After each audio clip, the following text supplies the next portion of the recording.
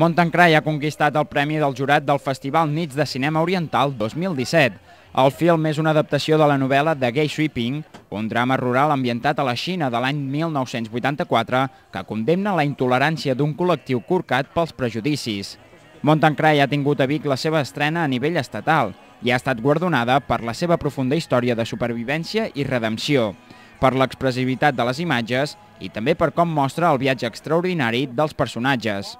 El jurat internacional del festival també ha volgut destacar el context que reflecteix i l'excepcional interpretació de la seva actriu protagonista, Lang Yueting.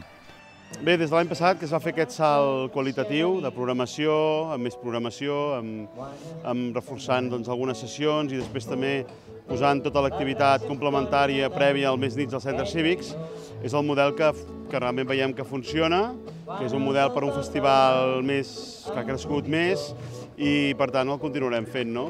El documental de Posterist ha rebut la menció especial del jurat per la passió i l'amor demostrat cap al personatge retratat i perquè ha representat la comunió en una sala de cinema de Vic entre els espectadors i el cinema popular de Hong Kong.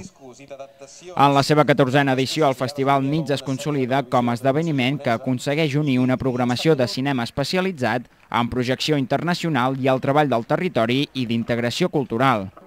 Un total de 10.000 espectadors han assistit a les projeccions i activitats del Festival Nits 2017. Hi ha hagut un augment de, de públic, més molt, molt visible. A les nits a la Bassa hi ha hagut més gent que mai, el Bigatà també ha augmentat. El fet que hagi comentat els acreditats, els convidats al festival, el, el públic en general, molta gent de fora de la comarca, de fora de Catalunya, del país. Això vol dir que doncs, el festival agrada, que la programació agrada, i que la gent al festival se'l fa molt seu, cosa que és el que intentem sempre des del primer dia i bé, eh, és un, doncs ens fa molt contents que, que continuï així. També cal destacar l'èxit de públic a les sessions de la Biblioteca Joan Triadú, especialment a les projeccions dels documentals de fort contingut feminista Mira i Gulabi Gang.